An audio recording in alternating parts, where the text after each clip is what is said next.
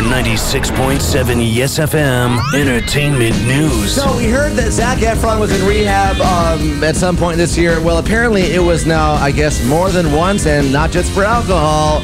He has a problem. with the cocaine. Yep, been to rehab for coke.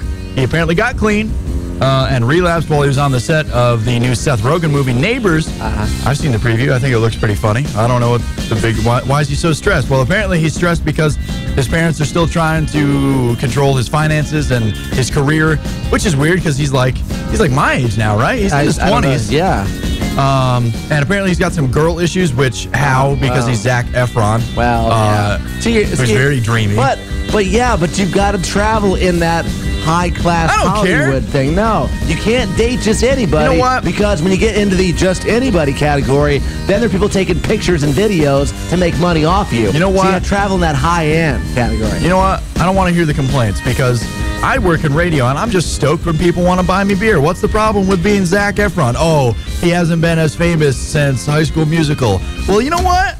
Too bad. He's still doing movies. He just did one with Matthew McConaughey. All right, now we had a story uh, earlier about Jon Gosselin maybe busting tables at a restaurant in Pennsylvania because he apparently has hit rock bottom, and he came out and said that, um, yeah, it's true. Yep.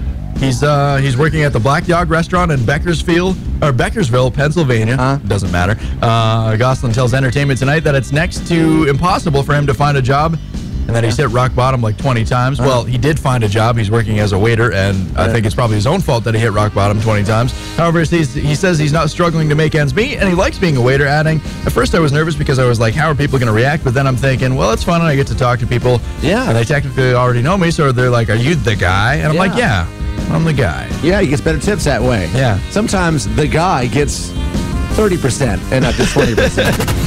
Want to see what you just heard? Go to the Yes FM YouTube channel and see it. This is Murs in the Morning on 96.7 Yes FM. Turn it up.